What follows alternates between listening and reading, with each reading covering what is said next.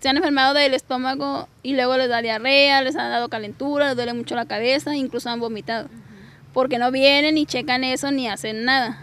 Y uno les dice, no, pues es que hay niños y se van a enfermar. Y dice, no, pues es que tienen que esperarse hasta que haya turno.